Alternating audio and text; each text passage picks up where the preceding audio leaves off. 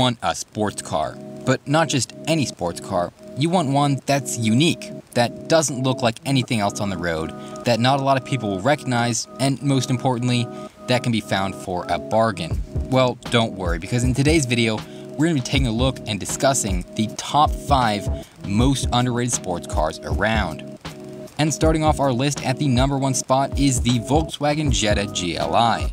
Now the Jetta is often overlooked because of its sedan status, but the GLI is a special version that shares the majority of its drivetrain with the more competitive Golf GTI. It comes packing sporty red accents and plenty of usable interior space, but don't be fooled by its practical looks, because under the hood, it's packing a 2-liter turbocharged 4-cylinder engine, which produces 228 horsepower and 258 pound-feet of torque. The most important part about this powertrain is that it produces all its power low in the RPM range, and this makes it great for ripping at slow speeds. Alright, let's go around this turn and see what the 2 liter can do. It actually has a lot of torque. It takes a second to pick up, but the torque is very good.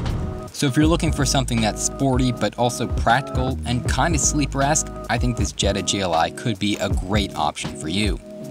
But if sedans aren't your thing, the next car on our list is the Mercedes SLC 300 Roadster.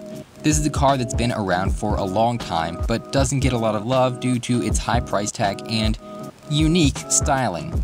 But when I drove an SLC 300 for the first time, I was shocked by how peppy this car actually is. It comes packing a modest 2-liter turbocharged 4-cylinder engine, which produces around 241 horsepower. Now compared with the light weight of the SLC, this will help the car go from 0 to 60 in under 6 seconds. But more importantly, it comes with a 4-wheel, multi-link, fully independent suspension system with available adaptive dampers in the upper trim levels.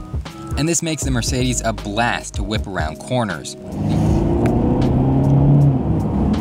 And it is pretty fast as well. Obviously, you're not getting lightning fast supercar style acceleration but yeah, for a little four cylinder, that's, that's pretty good. It's definitely plenty, more than enough to have a lot of fun. The only downside is that it starts at an MSRP of nearly $50,000.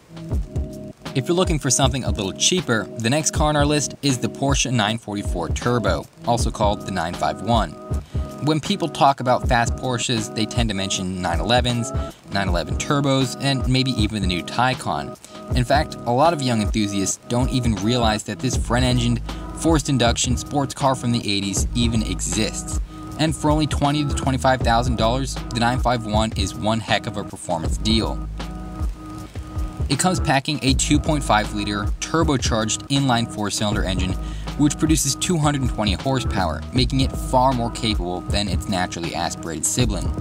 The 944 lineup handles better than any other cars I've driven, and the boost lag in this turbo model makes it a lot of fun for straight line performance as well.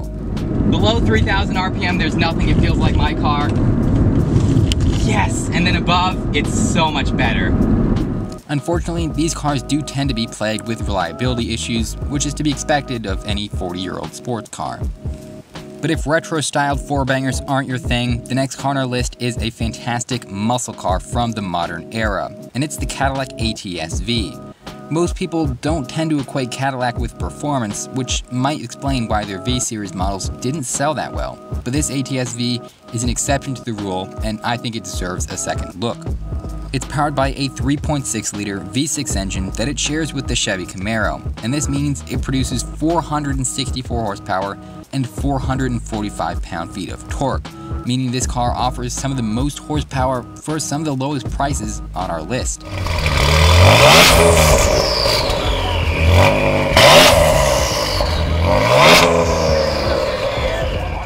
What's great about the ATS-V is that it offers all the performance of a Camaro and all the comfort and style of a Cadillac. And it might just be the underrated sports car that you're looking for. Now the final sports car on our list tops it as the fastest but also the most expensive car in this video. It's the Porsche Carrera GT. This is the last great analog hypercar, and with its rare manual transmission and fantastic V10 soundtrack, I'm honestly shocked that this car can still be bought for under $800,000, which does sound like a lot until you compare it to some of its competitors, like the Enzo, that are selling for well in excess of $2 million. This means that right now is a fantastic time to buy a Carrera GT and get it at a good price. It comes with a 5.7 liter powerhouse pumping out 604 horsepower, helping the car go from 0 to 60 in around 3.5 to 4 seconds, and reaching top speeds over 200 miles per hour. This iconic Porsche has good looks on both the exterior and the interior, and although most enthusiasts will probably never see a Carrera GT, let alone be able to afford one, I think it's still one of the most underrated and undervalued performers around. And that concludes our list of underrated sports cars. I sincerely hope that you guys enjoyed and maybe even learned something from this video. If you did, make sure to smash that like button and leave your own thoughts in the comment section down below. As always guys, thank you so much for watching and remember to subscribe.